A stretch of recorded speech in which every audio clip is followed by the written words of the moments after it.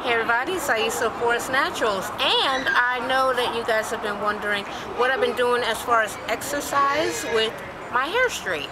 Well, believe it or not, I exercised yesterday for two hours, but it was walking. So we're doing low impact exercise so I can burn enough calories to still stay fit and be able to eat enough food without messing up my straight hair.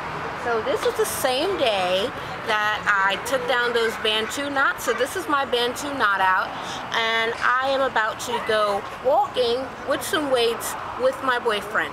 Um, the curls on this side are kind of flipped outward and this is seeming to lay pretty nicely so hopefully from the heat of being out here in all this glorious sun is going to maybe bring these curls down just a little bit but I am hoping that I don't sweat this out. So I will see you guys at the end of the workout. All right, guys. We have been walking for how long, babe? An hour. An hour already? Yes. Oh my goodness. Okay, and check my heart rate monitor. I'm at 443 calories. Now what we uh, have been doing for the past three days we have been walking uh, in all different directions around our house until we get to 500 calories and then go back home. And that gives me a thousand, which allows me to eat which is awesome. So, uh, I have not broken a very heavy sweat, and as you can see, my hair is still dry and lovely. And I had to give up them weights. They was woo! on my arm. My baby got them now. All right. Ah, see you guys at the end. Okay, we are back in front of my place. Still got these heart rate monitors beeping because we are out of our zone.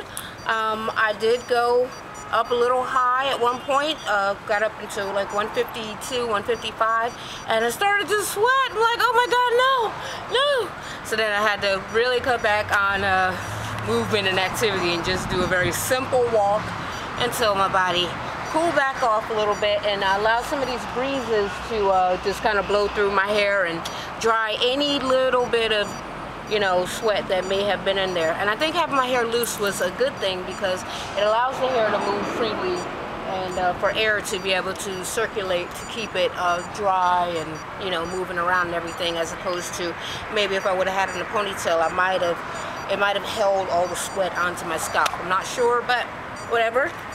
I don't know if you can see this, but I'm hoping you can. I'm still all straight. Don't want to hit myself in the head with my weights. Can you see that, babe? Mm-hmm. Sure can. Looks mm. pretty to me. Nice and straight. Inside here, still straight. And that is it. I'm going to go back inside and Bantu knot this up and take me a nap. Love you guys. Talk to you later. Bye.